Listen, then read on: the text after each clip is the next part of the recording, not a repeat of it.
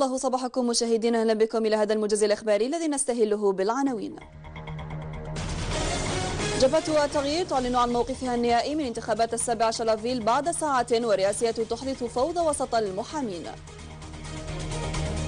السوق الجزائرية باتت تجذب أكثر المستثمرين الألمان والمنتدى الجزائري الألماني فتح الباب لمستثمري القطاعين.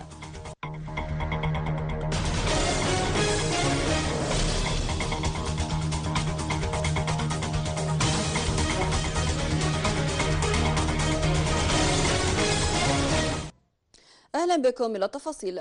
يعقد في هذه الأثناء مجلس الشورى الوطني لحزب جبهة التغيير دورة استثنائية من أجل الفصل النهائي في موقفه تجاه الاستحقاقات الرئاسية المقبلة. ويعتبر حزب جبهة التغيير برئاسة عبد المجيد من نصر الحزب الوحيد الذي لم يعلن عن موقفه بعد اتجاه الانتخابات السابع عشر أفريل إلى حد الآن.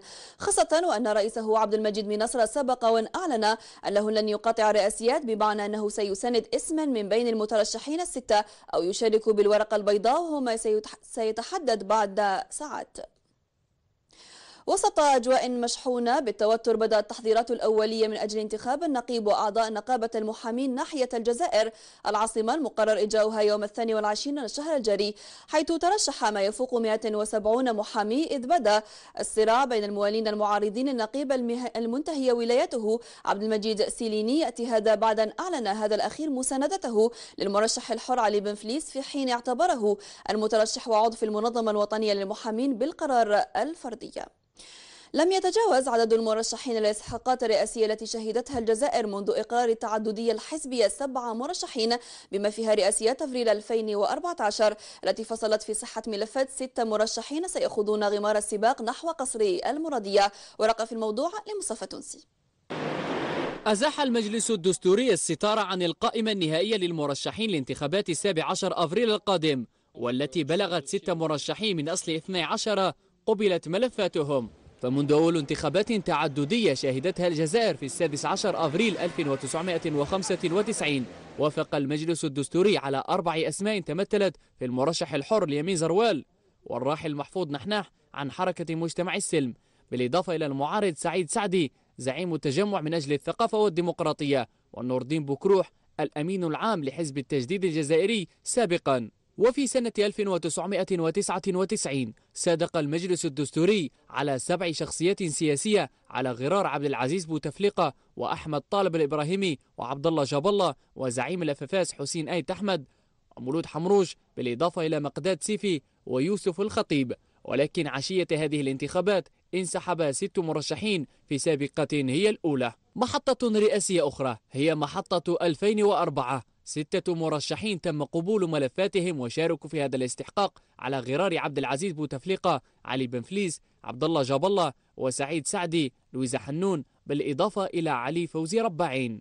انتخابات 2009 هي الأخرى انطلقت بستة مرشحين عبد العزيز بوتفليقة لويزا حنون موسى التواتي محمد جهيد يونسي بالإضافة إلى علي فوزي رباعين ومحمد السعيد.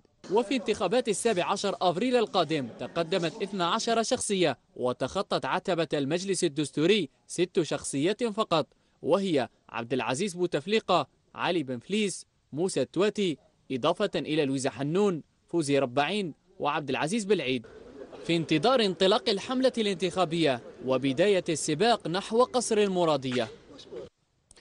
الشراكة الأجنبية وجلب الاستثمارات الخارجية هو من أهم العوامل للنهوض بالاقتصاد الوطني حيث يعد المنتدى الجزائري الألماني من أبرز مظاهر الاهتمام الألماني بالسوق الجزائرية التي صارت تجذب المستثمرين الألمان في عديد المجالات خاصة الصناعية منها. ورقة حول هذا الموضوع مع اليقود سارة غرداوي.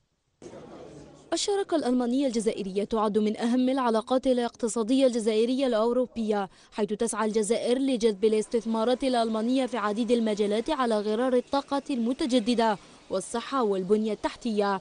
ومن بينهم ستة دخلوا في إطار آه، الإنتاج وفيهم أيضا البعض منهم اللي هما ما زالوا في قيد إنجاز المشاريع نتاعهم. فالشركات الألمانية معروفة ب آه، يعني الجودة نتاعها ومعروفة بالرزانة نتاعها وأيضا التنظيم نتاعها. ويؤكد الشركاء الألمان على أن الجزائر تعد أرضية خصبة للاستثمار رغم القاعدة الاستثمارية التي تفرضها السياسة الاقتصادية الجزائرية على المستثمرين الأجانب Et donc, quand il y a une telle règle, je pense qu'il y a une raison derrière, bien sûr. Et euh, bon, il y a déjà des sociétés allemandes ou étrangères en général qui sont, euh, qui sont actives ici, euh, dans le cadre de cette règle-là, et qui ont beaucoup de succès. Hein. Donc, euh, je pense euh, cette règle est en place. Je pense qu'il y a des bonnes raisons derrière pourquoi il y a cette règle. Et je pense aussi qu'on peut faire avec. Après, euh, après c'est bien sûr à chaque, euh, à chaque acteur économique à voir si peut, peut, faire, peut se développer dans le cadre de cette règle ou pas. فتح السوق الجزائرية أمام المستثمرين الألمان يعد خطوة إيجابية تهدف إلى تطوير الاقتصاد الجزائري خاصة في المجال الصناعي كما سيمكن الجزائر من الاستفادة من الخبرة والجودة الألمانية. تعرف الجزائر نقصا كبيرا في قطاع السكن الذي يشهد بدوره العديد من المشاكل التي كانت سببا مباشرا في تأخر وتيرة الإنجاز منها نقص العقار وقلة وسائل إنجاز حديثة. ولذلك ستعتمد الحكومة على مؤسسات وطنية وأجنبية لإنجاز المشاريع السكنية المبرمجة. كما الجفل مشكل السكن الذي يطرح بحدة على الحكومة الجزائرية والذي يعرف بدوره العديد من الصعوبات التي حالت دون إنجاز مشاريع سكنية جديدة أهمها نقص الأوعية العقارية وقلة وسائل الإنجاز. كل أسبوع بعد أسبوع on a des solutions بالنسبة للأرض on a des solutions بالنسبة للمؤسسة تاع الإنجاز. منا على شهر maximum باش نزيد نفتح قائمه ان شورت ليست ناسيونال بالنسبة للشركات الجزائرية اللي قادرة تنجز من 400 سكن الفوق. الاعتماد على الخبرات الأجنبية التي تمتلك تقنيات جديدة ومتطورة في مجال المقاولاتية ترى فيه الحكومة حلا آخر لإنجاز مختلف المشاريع السكنية. فيه محاولات نتاع مؤسسات أجنبية باش تجيب وسائل إنجاز بناء ماشي بناء c'est des semi-lourds. اللي تخليك ربما تستلم عمارة تستلمها في آه، تسع أشهر عام تستلم عمارة. c'est faux pas ça ولتنشيط عملية إنجاز المشاريع السكنية في وقتها المحدد يجب التأكد من أن هذه المؤسسات قادرة على إتمام عملها في الآجال المحددة وعدم التواني في اتخاذ أي إجراء عقابي ضد كل من يخالف ذلك. يعرف الصالون الدولي للسيارات المقام بقصر المعارض الصنوبر البحري في يومه الثاني إقبالا كبيرا.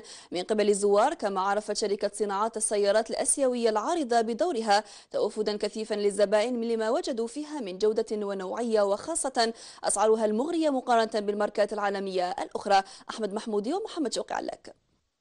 يشهد الصالون الدولي للسيارات بالجزائر وليومه الثاني إقبالا كثيفا من قبل الزوار.